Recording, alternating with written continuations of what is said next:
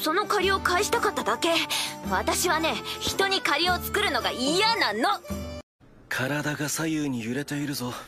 立ちっぱなしで足に来ているのだろうが。耐えろ。そして視線は常にアリエル様だ。嘘おっしゃい。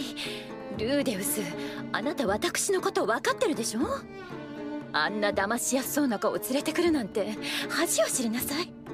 ルーデウス様はその女性を恐れてるように見えました。もしかするとルーデウス様が恐れないで済むような。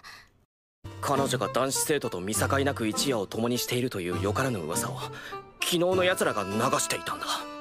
だからやめさせようとしたんだが。そんなこと言って真っ先に飛び出したのはサラ。あんたじゃないか。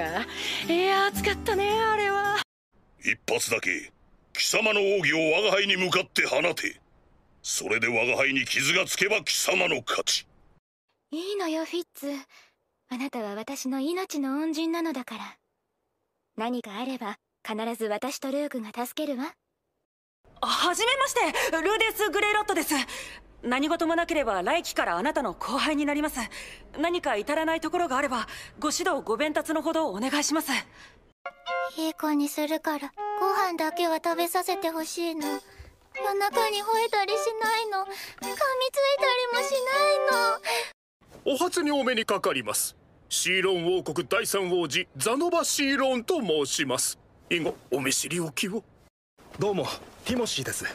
光栄で攻撃魔術を得意としてます。一応このパーティーのリーダーということになっています。せいぜい乱暴にするといいにゃ。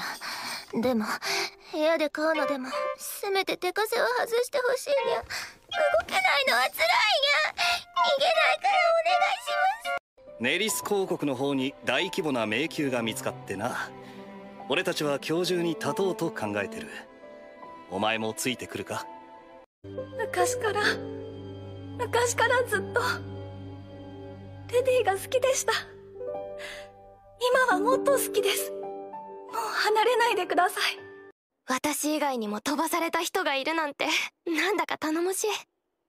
元の世界に帰るためお互い協力しよう。ね。っ